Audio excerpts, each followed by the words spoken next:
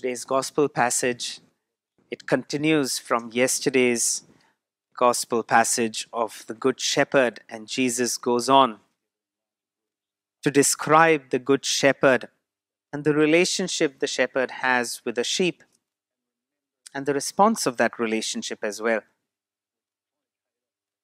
In John 10 14, it says, I am the good shepherd.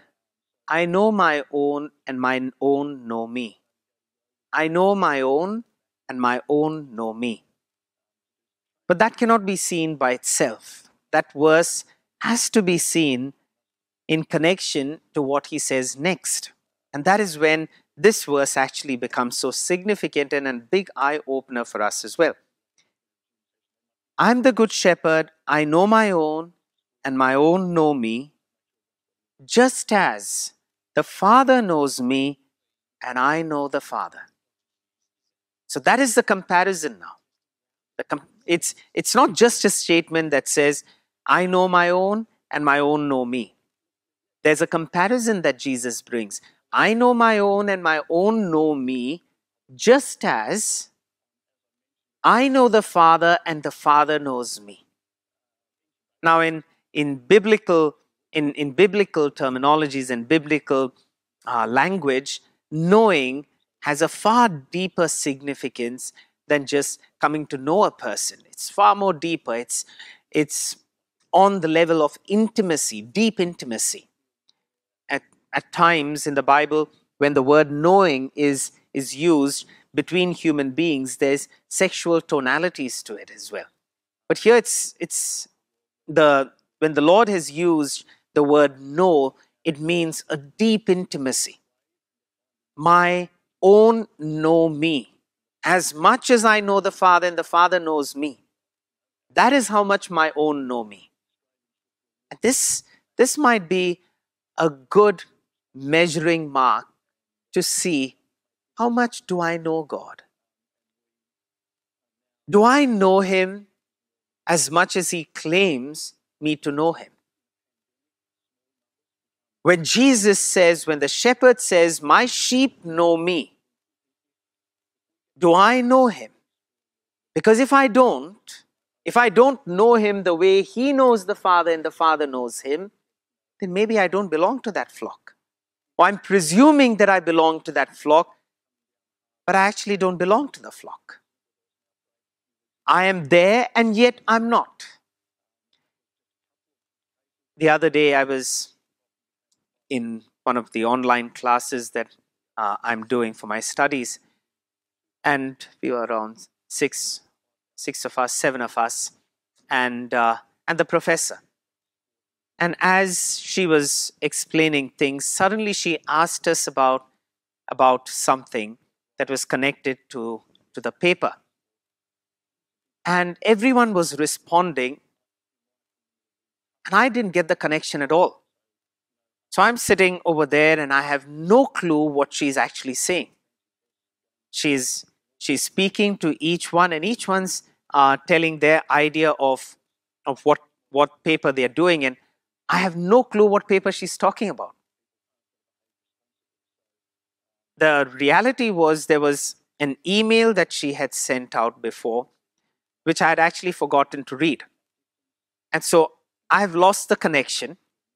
I'm sitting over there, I'm in the meeting, I'm in the class, but I'm not in the class. I feel I'm in the class. So as she's as she's asking everyone, because it is online and and there's no physical uh, physical presence, uh, I kept nodding my head like I did when I was in school as well, and and knew had no clue what the teacher was saying. And as she was speaking, I'm nodding my head, but in my mind, I'm thinking to myself, I have no idea what she's saying. So, am I in the class? I'm in the class. But am I in the class? I'm not in the class. Am I a part of the flock? I believe I am. Do I know the Lord? I don't. Then am I a part of the flock? I'm not. If the comparison is between Jesus and the Father, and that's the, that's the measuring mark he kept.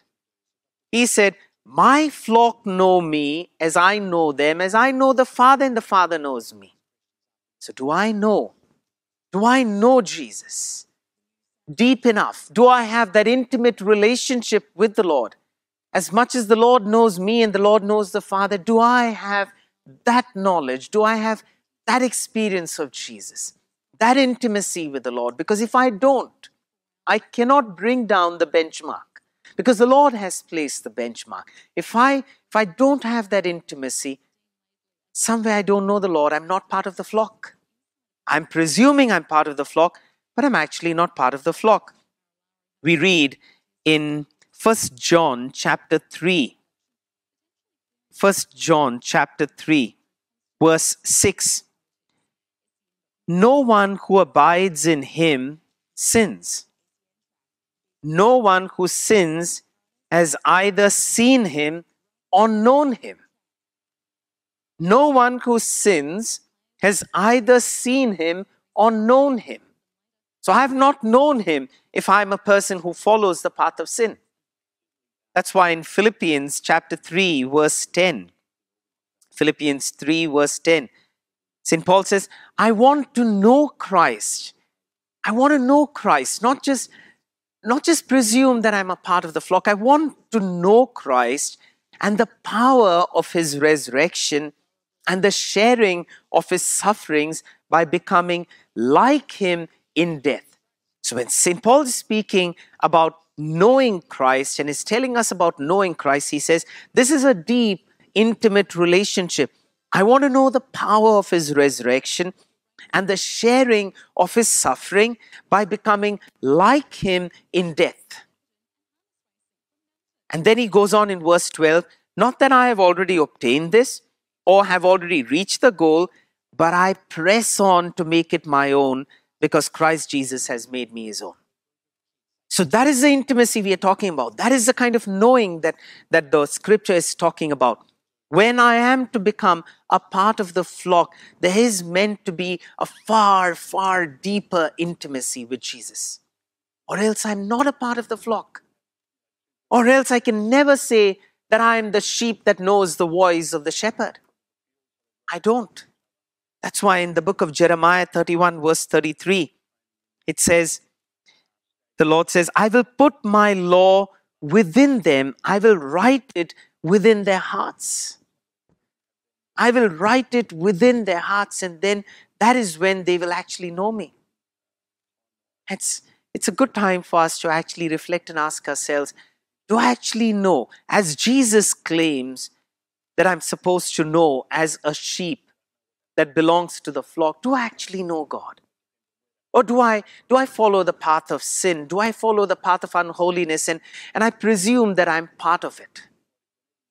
Am I only presuming? Am I living in this bubble thinking to myself, I go to church, I, I pray, I say the rosary, I say the novenas, I, I, I'm a part of the online masses, I, I, I'm, I'm a Christian, I'm baptized, and so I'm a part of the flock? Is it so? Am I a part of the flock just because I come to church? Am I a part of the flock just because I know theology? Am I a part of the flock just because I'm a priest? Am I a part of the flock just because I have my spiritualities and my novenas and my, my prayers? I'm a part of the flock when I know the shepherd in intimacy, as St. Paul says, with a deep desire to be one with him. That can happen only with the presence of the Holy Spirit. That is why 1 Corinthians chapter 12, 1 Corinthians chapter 12, verse 3 I'm presuming. First Corinthians chapter 12, verse 3. No one can say Jesus is Lord except by the Holy Spirit. The Holy Spirit is the one who helps us know Christ. No one can say Jesus is Lord. No one can have an intimacy with the Lord. No one can be a part of the flock in all genuineness and sincerity unless led by the Holy Spirit. And so today we pray, even as we are moving on that journey towards Pentecost. O Spirit of God, give me the grace to know Christ, to be a genuine part of the flock, not to presume that I am a part of it, but to know my Lord and Savior. Let us pray for that grace and that great anointing that I want to be a part of the flock. I want to be with the Lord on this journey. I want to know Him.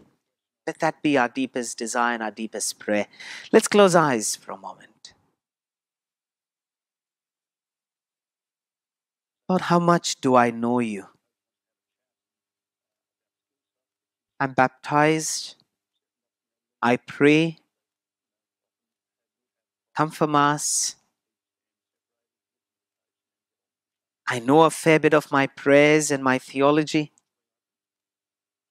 But Lord, if the measuring mark is your relationship with the Father, then Lord, can I be honest when I say I know you? As much as you know the Father and the Father knows you. Very often, I honor thee with my lips, but my heart is far away from you. I haven't let your law be written in my heart. I haven't followed your way of the cross and embraced you in the sufferings of my life. Jesus, I pray that I might know you and be a part of the flock as much as you know the Father. In the name of the Father, and of the Son, and of the Holy Spirit. Amen.